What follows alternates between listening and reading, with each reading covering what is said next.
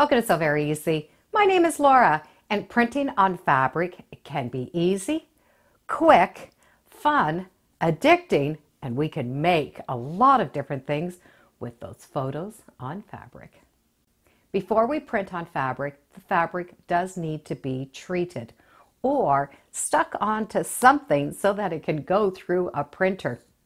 There are formulas where we can treat the fabric and then iron our fabric into something like a paper in order for it to go through the printer. And that little treatment makes sure that our ink stays on that fabric.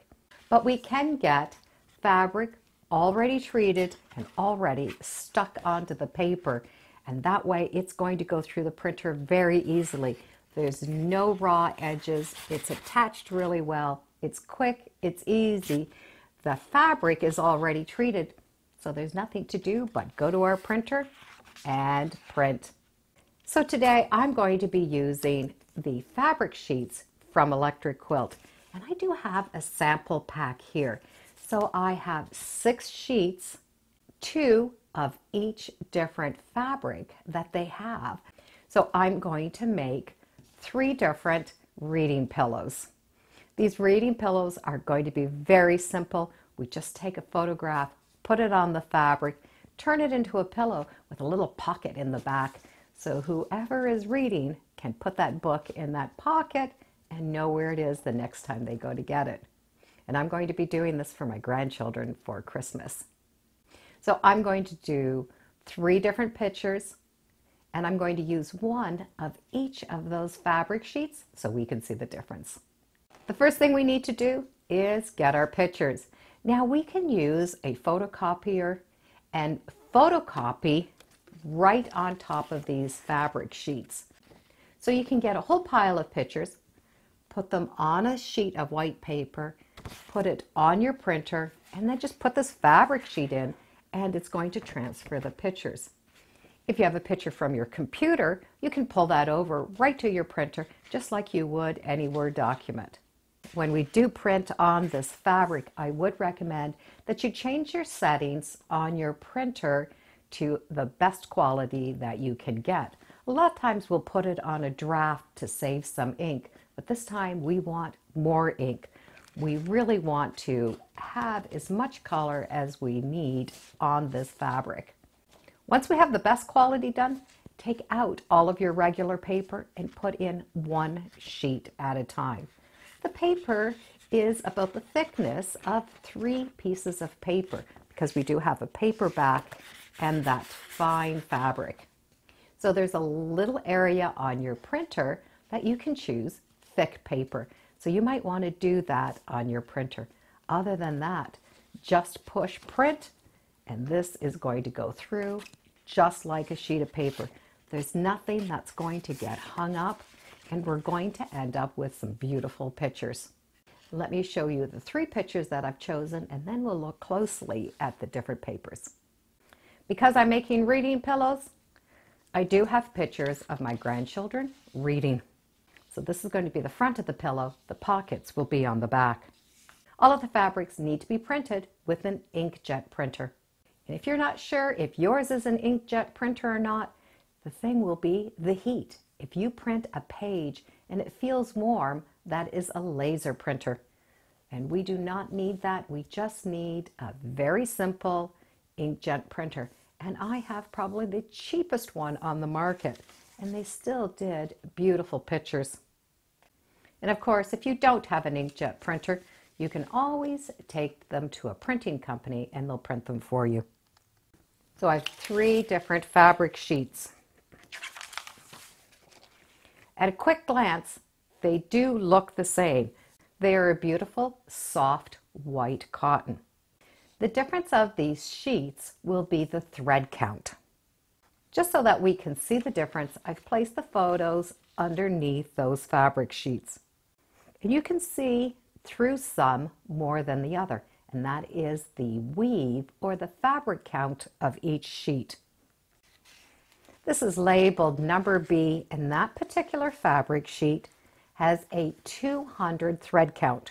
It's perfect for quilts, for pillows, scrapbooks, anything that you really want. This is a very good all-purpose sheet. The next fabric sheet is a 240 count. This would be considered a premium cotton lawn fabric. So we do have more threads per inch. This is a little bit softer than the 200 count. It's still great for quilts and heirlooms and really anything that you want to quilt. Because it's nice and soft, it can also be quilted by hand. The premium cotton is a 283 thread count and it's considered a satin cotton.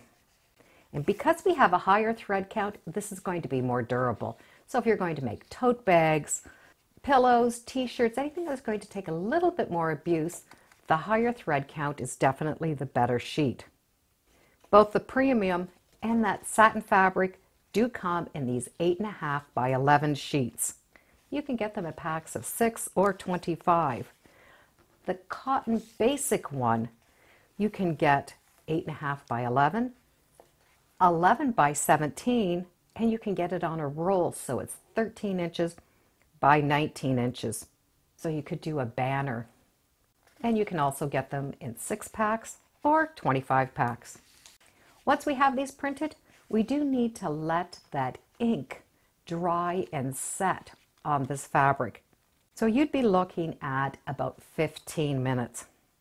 After that, we get to peel off that paper. To peel off that paper, just put this between your fingers. And if you do that, the one side will separate. So we're going to be able to peel that off. And even though this is considered a paperback fabric, it is not paper. It is this very thin product, and that's what makes it go through the printer so well. So I could just peel that right off. And I now have that beautiful soft fabric. This first one is that basic fabric. It still has a lightweight feel to it. You can see it is a little bit thicker, which makes it good for just about anything. The second one was that premium. So it feels thinner, which means we're going to be able to quilt this really easily. And we look at the back, you can see the difference. This last one, it is a heavier fabric, and you can see how that thicker one definitely has a different drape to it. Now that the back has been taken off, we need to just soak this in a little bit of water. The water is just going to take out any extra ink. Now, if you have distilled water, it's really nice to use distilled water for this. But if you don't have distilled water, you can use regular tap water or even a filtered water would work. And you only need it to be at a room temperature. So I have just a little bit of water in here. It's room temperature. I'm going to take that fabric sheet and put it in. I'm going to leave it flat, but just give it a little rub with my fingers. What I want is to make sure that there's no extra ink sitting on top. And we need to just leave it in there for 10 minutes. If you find that you've used a really dark red and you have some dye coming out in the water, you can put just a little fabric softener in that water. It's going to help that. But we just need to let it sit for 10 minutes. This fabric has already been pre-treated for us, so this is all we're going to have to do. And while that's soaking, I'm going to start to get my fabric ready. I will be using pillows that are already pre-made, and in this particular one, it's just considered a crafter's pillow. And it's a 14 inch square. The sizes are going to vary depending on the size of the pillow that you have. I am using a 14 and a half inch square so I will need for the pillow back two pieces of fabric a half inch bigger than that. So I have 14 and a half inches and another 14 and a half inch. We will need two of these because one will be folded in half and be placed along the back and that's going to become a pocket. So these will be my three backs. Those fabric sheets have been soaking for a good 15 minutes. I'm just going to take them out and place them right on top of a towel. And smooth out any of those edges that want to roll. I have no dye in that water. And you can see how beautiful those pictures are on that fabric. I'm just going to put another towel over top, peek underneath, make sure all of my pages are flat. And we can blot those dry. If you're super impatient like me and really want them to dry fast, turn those pictures over onto that towel and iron them from the back side. And you can see I have no ink coming off of those fabric sheets at all. I will be making that 14 and a half inch pillow, so I need to put borders on these to make them 14 and a half inches. And we're going to just treat this like regular cotton fabric. So I have my front cut at 14 and a half inches. I have a back at 14 and a half inches and I have a second piece at 14 and a half inches and just iron that right in half. This pillow is going to be made so it can be washed. So we need to take that solid background fabric and at that bottom, fold it a quarter inch and then fold it another quarter inch and stitch down. So this will be a half inch smaller on that one side. Once that little rolled hem has been done, we have one row of stitching and the pillows are going to be done. And it might be easier if we just lay them out this way first. This is how the pocket is going to be. I do want to see that particular print. So the right side and the right side of the pillow front are going to go together and we're going to be able to match up that bottom edge. The back piece will now get flipped over, but we're going to match up the three edges because this is not going to match up. It will be shorter. And this is where we're going to be able to turn that pillow right side out and there'll be no hand stitching this closed. The opening will be inside the pocket so we can always wash this whenever we need. Now we need to stitch all the way around using a quarter inch. We've gone all the way around and by rolling this bottom piece we did not catch it in the seam allowance. So we're going to be able to turn this right side out. When we turn it right side out, that pocket is going to want to sit in the front. We're going to be able to just flip that to the back. We do want to press this before it goes in the pillow form. Now that this is all pressed, we're going to be able to put that pillow in. Take this pocket and turn it so it faces that front picture and that gives you the opening to slip your pillow in. Once that pillow's in, we get to flip that pocket to the back. Once the pillow's done, it's set to put a book in. But these are easy to take out and wash, and